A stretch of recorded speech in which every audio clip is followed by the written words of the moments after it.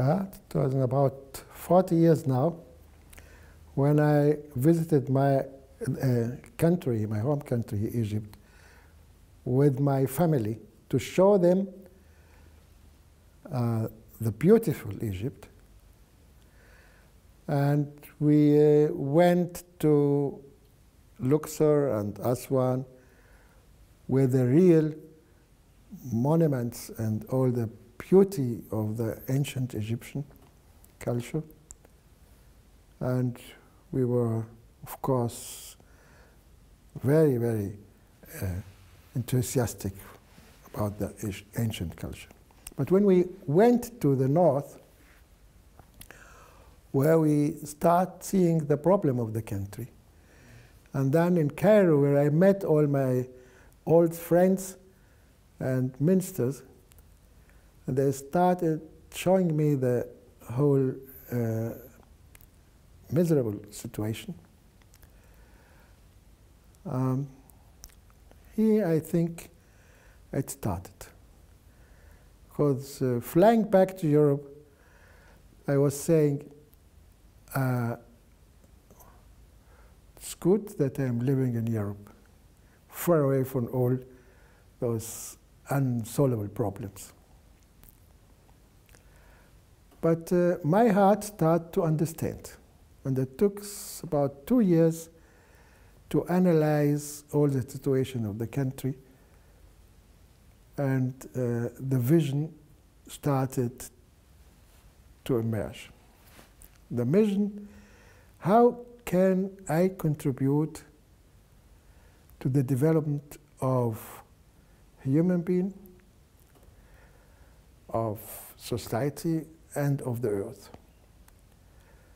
This uh, sustainable development vision started after I got much to know about the country, about the poverty and about the water scarcity, about the overpopulation. Uh, and so uh, the vision started and all ideas you created, they are asking for implementation. If that is a vision, the vision want to be implemented. If it is just a hallucination, where people are writing books about it, so it uh, stays in books and paper. So I saw me uh, coming in the desert and uh, facing all the problems in such developed country, how to get a piece of desert on a legal way and how to dig to get water and how to create a new culture in the desert, far away from all these social forms that are uh, very much existing in cities and villages. Uh, so how to create a new culture far away in the desert. So, how it started? I think my heart started to understand. Uh, because the intellect, I think, would not have done that. But, uh, but how to um, set a model to participate in a sustainable development way, that was a start.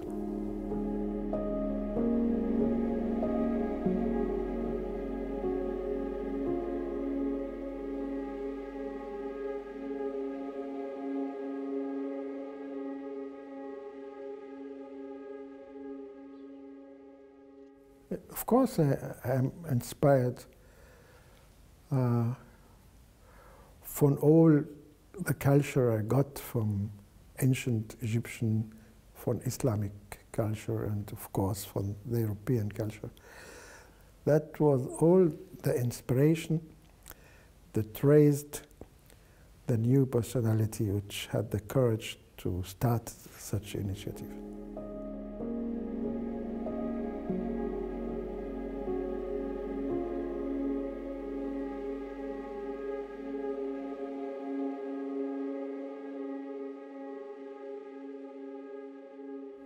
I think one of the reason of the overpopulation is the nutrition. Of course, education, but also nutrition. If people are very weak, not feeded, weak feeded means they eat much without content, without minerals, without vitamins, without the life power in the plant, they are weak. They grow well, they can marry and they can get children and all of that, but they are mentally weak. So, how to feed people with uh, uh, proper nutrition? That is one of the problems, of course. That's why uh, we do this biodynamic agriculture here, uh, because we are sure through this method the life power in the plant is much, much uh, active than in this uh, traditional, conventional way. Uh, that is one. The second, of course, is the, the education of the culture. Even uh, how people understand the religion. Uh, that is uh, that is also a reason. But there is almost many reasons why something happened. So also the politics, the way people are governed, uh, that also. But but mainly I see uh, the nutrition especially after the dam was built in 1960, 62, and it kept the real nutrition of the, of the soil, the mud which comes from the volcanoes uh, mountain from Ethiopia and the and that was refreshing the soil with minerals every year. And minerals are very well needed for the, of course, for the, for the microorganism and to feed the plant with the proper uh, elements. And plant needs all the elements, even gold. So I think that was also one of the reasons. Because if people, if not only people, if plants are weakly nurtured, uh, plant try to propagate itself very quickly to keep the gene. If you come to Egypt in the in winter time and you pass through the desert, you will see a lot of chamomile flowers and calendulas uh, grow within six weeks. They, they prosper and blossom in six weeks, and they build the seeds, and they left it in the soil for the next year. So this quickly propagation is coming from the very weak, I, I, I mean not more only weak, but nutrition. Uh, so where you, wherever you see people are controlling their propagation, their population, you see them knowing how, what to eat, what to learn, or how they are governed. So overpopulation is a multifaceted problem.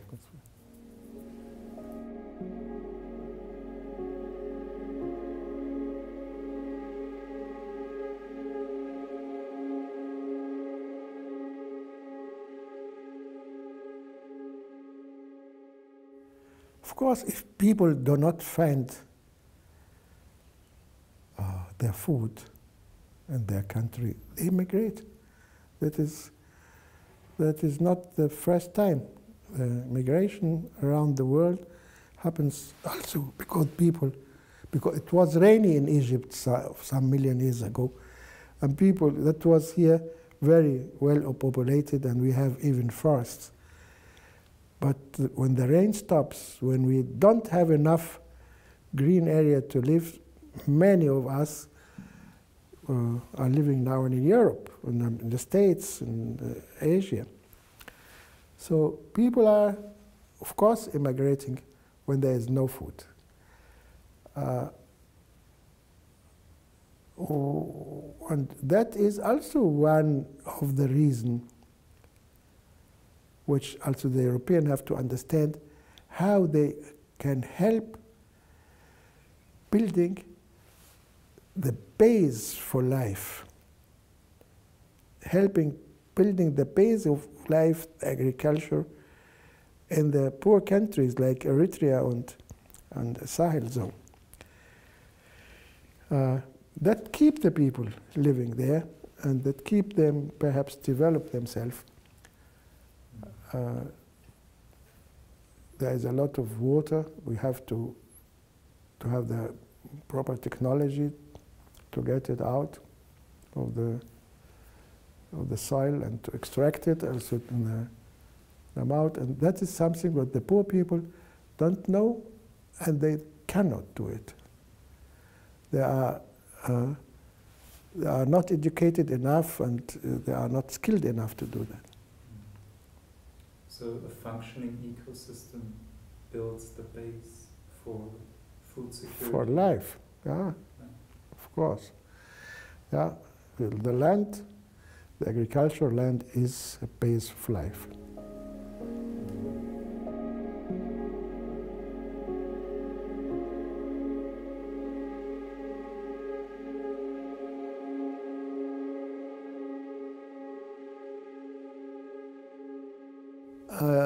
You can say merge. I, I see it as a sustainable development way. So we have to care for it, of course, not only for nutrition, but that is, there are communities like ours living in the earth, and we have to care for those communities, for the flora and for the fauna. Uh, once a human being understand the wisdom in the flora and in fauna, human being respect the wisdom and start to care for it. So that is a way how people develop their consciousness. So it's very important to be in, in the nature and to care for it, to understand it. Even when people do not have the mental way to understand the wisdom, but the wisdom is even reflect itself people living in nature, they are different than those in the cities. And, uh, and then we here, we took this wonderful organic products we planted to add value, to process it. And here, this adding value needs a lot of people to work, to learn, and that is uh, the part of the sustainable development idea, to give people work. Agriculture alone is not enough to help people develop their consciousness. So to care for the community through building uh, economy is the second part, where we produce products, we distribute it, we market it, and at the end we have profit.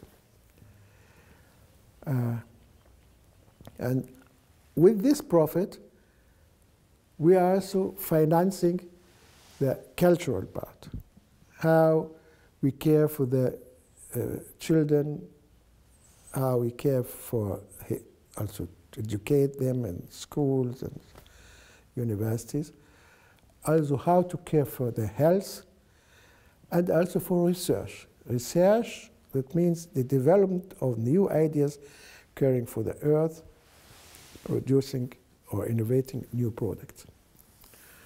And then we also need the profit for the very important fourth part, for the polity, how all of those people can work together uh, to develop, not to be depressed, but how we, they can live in the organization where they have their human rights, they have the, they feel the uh, gender equality and how they can feel they are brothers and sisters, whether they are from the same nation or from different nationality, from different uh, ethnic groups, from different uh, religion.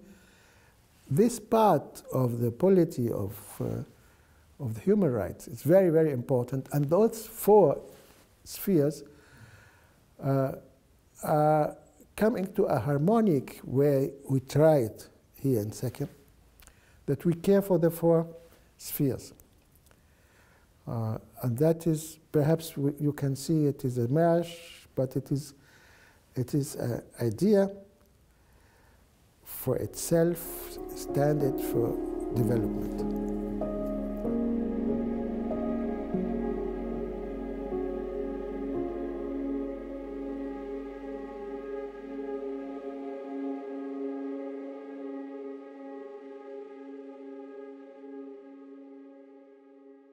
Also, I hoped not to expand. I hope to disseminate the idea. I hope that people can grasp the idea of this harmonious life, the sustainable development, that they can do it much better in their areas. Uh, but we have to set models everywhere in the country. Uh, I'm not very satisfied with setting models. I, it is enough one model. People can come, learn, and perhaps it is the reason also why university, to give young people the chance to develop themselves within the sustainable development idea so that they, have, they can perhaps uh, initiate, generate new uh, areas of life.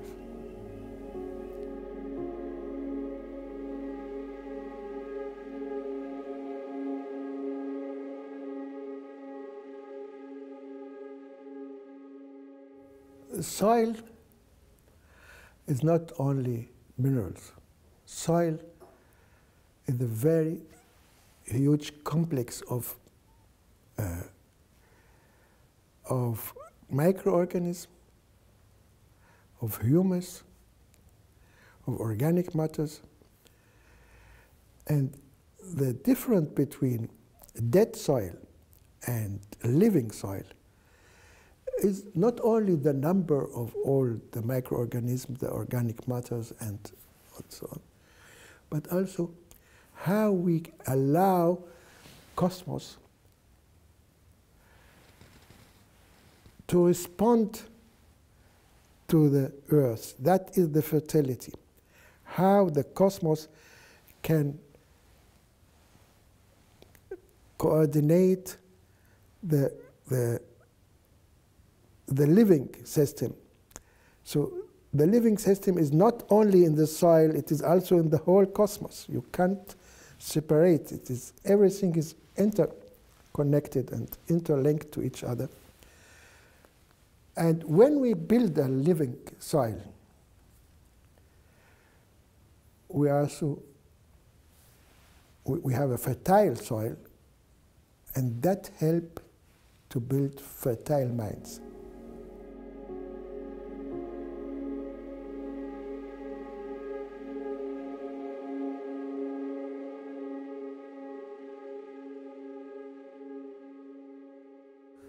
Look, everyone has a hobby.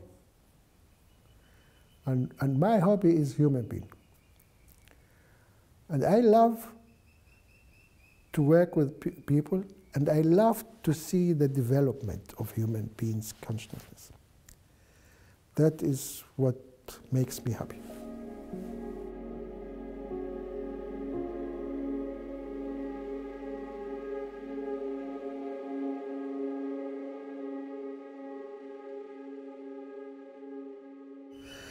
Consciousnesses are, are creating the landscape. You can, in handful landscape, see which consciousness is, so which spirit is working on the landscape. Yes, consciousness and landscape, they are very related.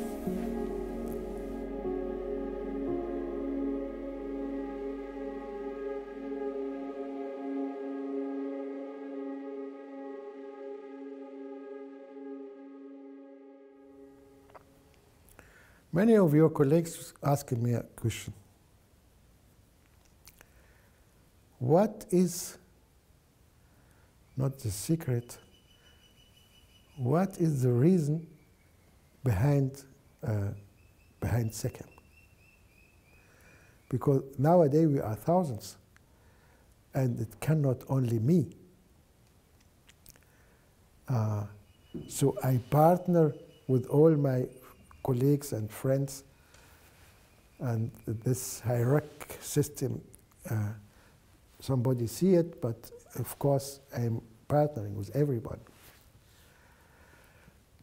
But the reason why we continue and the reason why we stop to live lies in the spiritual work we do. We are working daily, spiritual work. We care for the spirit. That is the reason why SEKEM flourish, prosper. Because there is, as you asked, what is the relation between consciousness and soil and landscape? There is no development on earth without development in spirit. Geist. So the spiritual work, the continuously, the infinite, is the reason of the development on the earth of, SEKEM. And so uh, that is that is the reason that because if I if I travel for some hundred years uh, and leave SEKEM, the there is a group of people who are working daily on a spiritual issues.